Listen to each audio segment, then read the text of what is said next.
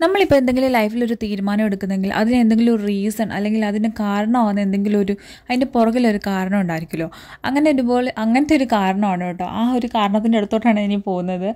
അതായത് എന്റെ ബ്രദറിന്റെ കാര്യമാണ് പറയുന്നത്. എന്റെ കഴിഞ്ഞ വീഡിയോസിലൊക്കെ ഞാൻ പറഞ്ഞിട്ടുണ്ട് എന്റെ ബ്രദർ ഓൾറെഡി ജർമ്മനിയിൽ വർക്ക് ചെയ്യുവാണെന്ന്. അപ്പം ഞാൻ ജർമ്മനിയിലേക്ക് വരാൻ കാരണക്കാരൻ എന്റെ ബ്രദറാണ് കേട്ടോ. കാരണം എനിക്ക് ചെറുപ്പത്തിലേ എനിക്കങ്ങനെ വിദേശ രാജ്യത്ത് പോവുകയാണെങ്കിൽ പോകാൻ ഇഷ്ടം യു കെയിലോട്ടായിരുന്നു. കാരണം എനിക്ക് തോന്നുന്നു കുഞ്ഞിലെ നമ്മുടെ കേരളത്തിലുള്ളവർക്ക് കൂടുതൽ പേർക്കും ഈ കേരളത്തിന് വെളിയിൽ പോകാൻ ഇഷ്ടം ബാംഗ്ലൂരും ചെന്നൈ ആയിരിക്കും. പിന്നെ ഇന്ത്യയ്ക്ക് വെളിയിൽ പോകാൻ ഇഷ്ടം അമേരിക്കയും യു കെ ആയിരിക്കും അല്ലേ? അപ്പോൾ എനിക്കും അതുപോലെ തന്നെ ആയിരുന്നു കേട്ടോ. എനിക്ക് കേരളത്തിന് വെളിയിൽ പോകാൻ ഇഷ്ടം ചെന്നൈയും ഇന്ത്യയ്ക്ക് വെളിയിൽ പോകാൻ ഇഷ്ടം യു കെ ആയിരുന്നു. കുഞ്ഞിലെ തൊട്ട് അങ്ങനെ ആയിരുന്നു ജർമ്മനി എന്നൊരു സംഭവം എന്റെ തലയിലേ ഇല്ലായിരുന്നു. പക്ഷേ ദൈ നടന്നു വന്ന സാധനം കണ്ടോ? അതേ തന്നെ ബ്രദർ പുള്ളിക്കാരൻ എന്റെ ബ്രദറിന് ജർമ്മനി പോകണമെന്നായിരുന്നു ആഗ്രഹം. പണ്ട് തൊട്ടേ. അപ്പോൾ എന്റെ മൈൻഡിലേ ഇല്ലാത്തൊരു സാധനമായിരുന്നു അത്.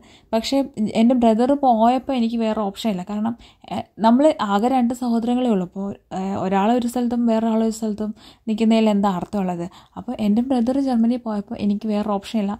അതുകൊണ്ട് ഞാനും ജർമ്മനി ചൂസ് ചെയ്തു. അങ്ങനെ വന്നതാണ് കേട്ടോ.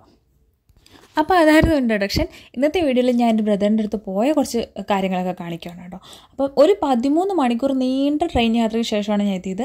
അതായത് നമുക്ക് വേണമെങ്കിൽ ടിക്കറ്റ് ബുക്ക് ചെയ്ത് നമുക്ക് കുറച്ചുകൂടി ഈസി ആയിട്ട് എളുപ്പത്തിൽ പോകാം. പക്ഷേ ഞാൻ ഡി ബി കണക്ഷൻ ട്രെയിൻ വഴിയാണ് പോയത്. അതായത് ഞാൻ നേരത്തെ ബുക്ക് ചെയ്തില്ല. കാരണം ഞാൻ പ്ലാൻ ചെയ്തിട്ടില്ലായിരുന്നു. പോകണം എന്നുള്ള പ്ലാൻ ചെയ്തിട്ടില്ലായിരുന്നു. അങ്ങനെയാണ് ഞാൻ പോകുന്നത്. ഞാൻ പോയപ്പോൾ ഇടയ്ക്ക് നമുക്ക് ഇവിടുത്തെ ജർമ്മനിലെ ട്രെയിൻ ആണെങ്കിൽ ഇടയ്ക്കിടയ്ക്ക് സ്പേറ്റ് ഫെർസ്പേറ്റും എന്ന് പറയും. അതായത് ഇടയ്ക്കിടയ്ക്ക് ക്യാൻസൽ ചിലപ്പോൾ ക്യാൻസൽ ചെയ്തേക്കാം. അല്ലെങ്കിൽ ചിലപ്പോൾ ഡിലേ ആയേക്കാം. അങ്ങനെ ഒരു സംഭവമുണ്ട്. അപ്പോൾ അതുകൊണ്ട് ചിലപ്പോൾ നമ്മൾ വിചാരിക്കുന്ന ആ ട്രെയിൻ നമുക്ക് കിട്ടണമെന്നില്ല. അപ്പോൾ നമ്മൾ അടുത്ത ഓപ്ഷൻ നോക്കി അങ്ങനെയൊക്കെയാണ് പോകുക അങ്ങനെയൊക്കെയാണ് ഞാൻ എത്തിയത്. അപ്പോൾ എന്തായാലും ഒരു പതിമൂന്ന് മണിക്കൂറോളം എനിക്ക് ഇരിക്കേണ്ടി വന്നു. പക്ഷേ നമുക്ക് ടയേർഡ് ആവത്തില്ല അവിടെ ഞാൻ ടയേർഡ് ആയില്ലായിരുന്നു. നമ്മളിങ്ങനെ കാഴ്ചയൊക്കെ കണ്ടിരിക്കുന്നു. സം അത്യാവശ്യം നല്ലൊരു ക്ലൈമറ്റൊക്കെ ആയതുകൊണ്ട് പുറത്തൊക്കെ അത്യാവശ്യം ചെടി പൂക്കളൊക്കെ ഉണ്ടായി നിൽക്കുന്നുണ്ട് നല്ലൊരു കാഴ്ചയൊക്കെ ഉണ്ടായിരുന്നു. അതുകൊണ്ട് എനിക്ക് അങ്ങനെ ടയേർഡ്നെസ് ഒന്നും തോന്നിയില്ല. അങ്ങനെ ഞാൻ ബ്രദറിന്റെ അടുത്ത് എത്തി ആ, ആ, എന്റെ ഞങ്ങൾക്ക് രണ്ട് ദിവസം ഓഫായിരുന്നു അതുകൊണ്ട് പിറ്റേ ദിവസം രാവിലെ തന്നെ ഞങ്ങൾ രണ്ടും കൂടെ രാവിലെ അല്ല ഒരു പത്ത് മണി പത്ത് മണിയൊക്കെ ആയപ്പോഴത്തേക്കും ഞങ്ങൾ രണ്ടും കൂടെ അടുത്തുള്ളൊരു സിറ്റിയിലോട്ട് പോയി. ഇവരിവിടെ ഗ്രാമമാണ്. ഗ്രാമം എന്ന് വെച്ചാൽ വളരെ ഭംഗിയുള്ള ഗ്രാമമാണ് കേട്ടോ. അതായത് ഒരുപാട് കൃഷികളും കാര്യങ്ങളും ഒക്കെ ഉണ്ട്. അല്ലെങ്കിൽ തന്നെ ബയൺ ഭയങ്കര ഭംഗിയുള്ള സ്റ്റേറ്റ് ആണെന്ന് കേട്ടിട്ടുണ്ട്. ബയൺ ഒരുപാട് വലിയ സ്റ്റേറ്റ് ആണ്. ഒരുപാട് കൃഷികളും കാര്യങ്ങളും ഒക്കെ ഉള്ളൊരു സ്ഥലമാണ്.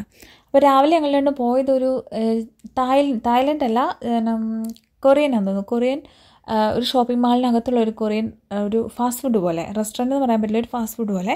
അവിടുന്ന് ഈ എന്റെ ആങ്ങളെ എപ്പോഴും കഴിക്കാറുള്ള ഒരു സൂപ്പിനെ പറ്റി എപ്പോഴും ഇങ്ങനെ പറയാറുണ്ട്. അപ്പോൾ ഒരു ടൊമാറ്റോ സോസിന്റെ ഒക്കെ ഒരു ഫ്ലേവറൊക്കെ ഉള്ള സൂപ്പിന്റെ കൂടെ തന്നെ ഒരു ബജ്ജി പോലത്തെ ഒരു സംഭവം കൂടെ വാങ്ങിച്ചു കേട്ടോ. ബജ്ജി ആണോ അതോ ചൈനീസിന്റെ അല്ലെങ്കിൽ കൊറിയൻസിന്റെ എന്തെങ്കിലും ഐറ്റം ആണോ ആണെന്നുണ്ടെങ്കിൽ എനിക്കറിയത്തില്ല. അതിന്റെ ഉള്ളിലുണ്ടായിരുന്നത് ചിക്കനായിരുന്നു ചിക്കനും പിന്നെ ടൊമാറ്റോ സോസ് പോലത്തെ ഒരു സംഭവം തന്നു. അത് രണ്ടും കൂടി മിക്സ് ചെയ്ത് കഴിക്കാൻ നല്ല ടേസ്റ്റായിരുന്നു നല്ല ചൂടും നല്ല എരിവും ഉണ്ടായിരുന്നുകൊണ്ട് നമ്മൾ ഈ നമ്മൾ നല്ല എരിവുള്ള ഫുഡ് കഴിച്ച് കഴിയുമ്പോൾ ചൂട് ചായ കുടിക്കത്തില്ലേ? ആ ഒരു അപ്പോൾ ഒരു ഒരു ടേസ്റ്റ് തോന്നത്തില്ല. ആ ഒരു ഫീലിംഗ് ആയിരുന്നു കേട്ടോ. അത് കഴിഞ്ഞിട്ട് കുറച്ച് നേരം മറ്റേ അവരുടെ അവരുടെ അടുത്തുള്ള സിറ്റിയുടെ സ്ട്രീറ്റിൽ കൂടെയൊക്കെ നടന്നു. പിന്നെ അവരുടെ ബാനോഫ് ബാനോഫ് ഇല്ല അവർക്ക്. ബസ് സ്റ്റോപ്പ് പോലെ. അവിടോട്ട് പോയി. പിന്നെ എന്താ അവിടുന്ന് ബസ് ബസ് ബസ്സിലൂടെയുള്ള യാത്ര ഭയങ്കര രസമായിരുന്നു കേട്ടോ. ഞാൻ പറഞ്ഞില്ലേ ഗ്രാമം ആയതുകൊണ്ട് ഫുൾ നമ്മുടെ ഞാനിപ്പോൾ നിൽക്കുന്നിടത്തൊക്കെ എന്ന് വെച്ചാൽ രണ്ട് സൈഡിലും എപ്പോഴും ബിൽഡിങ്സും കാര്യങ്ങളൊക്കെ. പക്ഷേ ഇവിടെ അവിടെ എന്ന് വെച്ചാൽ രണ്ട് സൈഡിലും കാട് പോലെയാണ്. പിന്നെ ഈ വഴിയോരത്തൊക്കെ കുറേ ആപ്പിൾ മരങ്ങളും ചെറിയ മരങ്ങളും ഒക്കെ പൂത്ത് കായ്ച്ച് നിൽപ്പുണ്ടായിരുന്നു പിന്നെ ഞങ്ങൾ നേരെ വീട്ടിൽ ചെന്ന് വീട്ടിൽ ചെന്നിട്ട് വീടിന്റെ ഇന്നലെ രാത്രിയിൽ വന്നതുകൊണ്ട് എനിക്ക് വീടിന്റെ ചുറ്റുമുള്ള ഗാർഡനും കാര്യങ്ങളൊന്നും എനിക്ക് ശരിക്കും ഞാൻ കണ്ടില്ലായിരുന്നു. അപ്പോൾ ഞാൻ രാവിലെ തന്നെ ഇത് കണ്ടപ്പോഴത്തേക്ക് നല്ല വെട്ടമൊക്കെ ഉണ്ടായിരുന്നു. അപ്പോൾ നല്ല വെയിലൊക്കെ ഉണ്ടായിരുന്നു. അപ്പോൾ ഞാൻ രാവിലെ തന്നെ അതെല്ലാം ഒന്ന് ജസ്റ്റ് ഒന്ന് ഷൂട്ട് ചെയ്തു. എല്ലാം ഒന്ന് വീഡിയോ വീഡിയോ എടുത്തു. കുറച്ചൊക്കെ കുറച്ചൊക്കെ വീഡിയോ എടുത്തു. മൊത്തത്തിൽ മൂന്ന് നിലയുള്ളൊരു വീടാണ്. അപ്പം മേളിലത്തെ രണ്ട് നിലയിലും ഓരോ ഓരോരുത്തർ താമസിക്കുന്നുണ്ട്. അതായത് ഒരമ്മയും മോളുമാണ് താമസിക്കുന്നത്. അപ്പം മോൾ ഏറ്റവും മേളത്തെ നിലയിലും അമ്മ രണ്ടാമത്തെ നിലയിലും എന്റെ ബ്രദർ ഏറ്റവും താഴത്തെ നിലയിലും അങ്ങനെയാണ് താമസിക്കുന്നത്. ഇവിടെ ജർമ്മനിയിൽ എങ്ങനെയാണെന്ന് വെച്ചാൽ സ്വന്തം അച്ഛനും അമ്മയുടെ എടുക്കുന്ന ഒരു പത്ത് പതിനെട്ട് വയസ്സൊക്കെ ആയി കഴിയുമ്പോൾ അല്ല അതിനു മുമ്പേ തോന്നുന്നു അതിനു മുമ്പേ തന്നെ ഇവരൊരു പട്ടിയായിട്ട് അങ്ങോട്ട് പോകും. ഒരു സ്വന്തമായിട്ട് മാറി താമസിക്കും. എന്റെ ക്ലാസ്സിലെ പിള്ളേരാണെങ്കിൽ പോലും അങ്ങനെയാണ് കേട്ടോ. അവർക്ക് അവരുടെ വീട്ടിൽ അവർ ഒറ്റയ്ക്കാണ് താമസിക്കുന്നത്. അച്ഛന്റെ അമ്മയുടെ കൂടെ അല്ല താമസിക്കുന്നത്. പിന്നെ അവർക്ക് കൂട്ടായിട്ടുള്ളൊരു പട്ടി കാണും എപ്പോഴും. അപ്പം കഴിഞ്ഞ ദിവസം ഒരു കൊച്ച് ക്ലാസ്സിലെ കൊച്ചിങ്ങനെ നേരത്തെ ടീച്ചറിനോട് പറഞ്ഞിട്ട് ഇങ്ങനെ അപ്പോൾ ഞാൻ ചോദിച്ചു ഞാൻ ചോദിച്ചു എന്താ നേരത്തെ പോകുന്നതെന്ന്? ചോദിച്ചു പറയാം എന്റെ ഹുണ്ട് ഒറ്റയ്ക്കാണെന്ന്.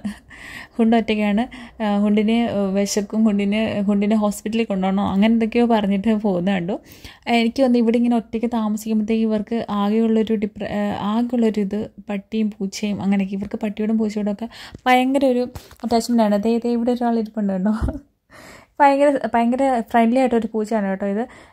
നമ്മൾ കൈ കൊണ്ടൊക്കെ ഇവിടുത്തെ പട്ടികളാണെങ്കിൽ പോലും നമ്മൾ തടവാൻ തലയിലൊക്കെ തടവാനൊക്കെ ചെല്ലുമ്പോഴത്തേക്കും കുരയ്ക്കോ കടിക്കോ ഒന്നുമില്ല എനിക്ക് തോന്നുന്നു ഇവർക്ക് ചിലപ്പോൾ വീടിനുള്ളിൽ താമസിക്കുന്നതുകൊണ്ടാണോ അത് ഇവർക്ക് ഇനി ട്രെയിനിങ് കൊടുക്കുന്നത് ട്രെയിനിങ് എന്തായാലും ഇവിടെ കൊടുക്കും. പിന്നെ ഇവിടെ പട്ടീനെ വളർത്താൻ ഭയങ്കര എക്സ്പെൻസീവ് ആണെന്ന് കേട്ടിട്ടുണ്ട്. പിന്നെ ഇവിടെ വിശാലമായ ഒരു ഗാർഡൻ ഉണ്ട് കേട്ടോ.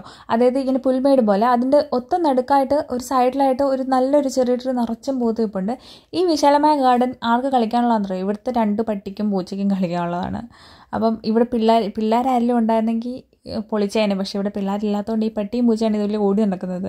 അപ്പം ഞാൻ ശ്രദ്ധിച്ചൊക്കെയാണ് നടന്നത്. എന്തായാലും പട്ടിയുടെ വല്ലതും ആ, അപ്പിയിട്ട് വെച്ചിട്ടുണ്ടെങ്കിലോ എന്ന് വിചാരിച്ചിട്ട്. പിന്നെ ഞാൻ ഇവിടെ ഇവർ ഇവർ രാത്രിയിൽ അടിപൊളിയാണ്. ഒരു രാത്രിയിലാണ് ഇവിടുത്തെ വ്യൂ അടിപൊളി. ഇവർ രാത്രിയിൽ ഇവർ ഇവത്തിലെല്ലാം ലൈറ്റ്സ് ഇട്ട് വെച്ചിട്ടുണ്ട്.